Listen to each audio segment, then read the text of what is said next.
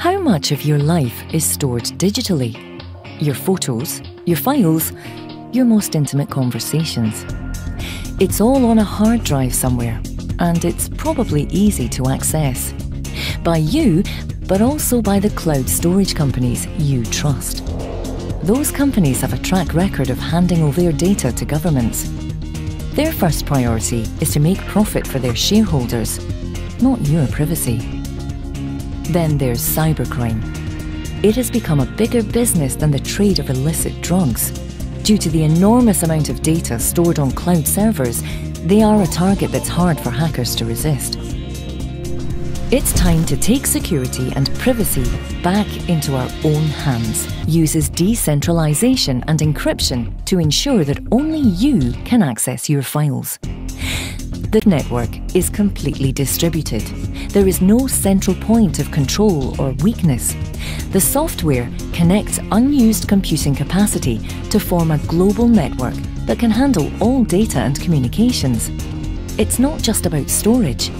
It allows you to safely run any app that exists today while paying you for your contribution.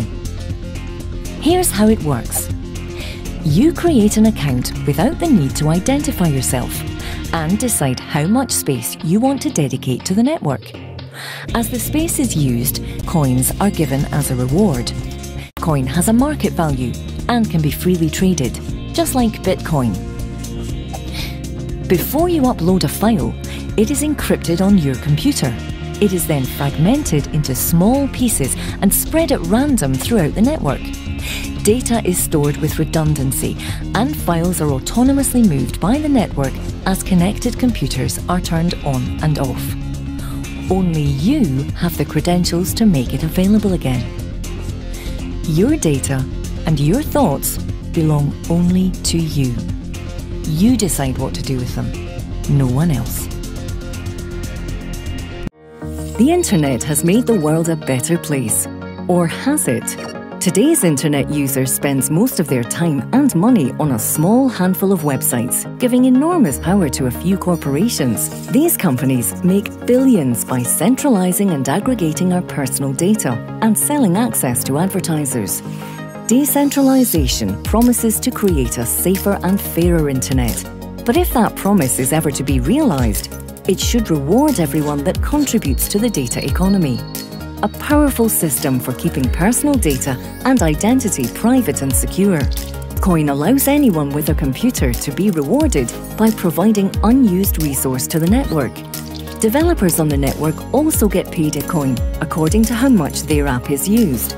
All payments on the network are handled automatically by the system without any human interaction to ensure equality and fairness. Coin transactions are not viewable on a public ledger, and only the previous and current owners are known by the system. Transactions are confirmed instantly with no transaction fees, while multi-layered encryption provides additional security. Instead of paying a giant corporation for storage on a centralized server that can be hacked and censored, users of the network can rest easy knowing their data and identity are secure, while contributing more fairly to a worldwide community. Coin will become the world's currency for security and privacy. Join our community today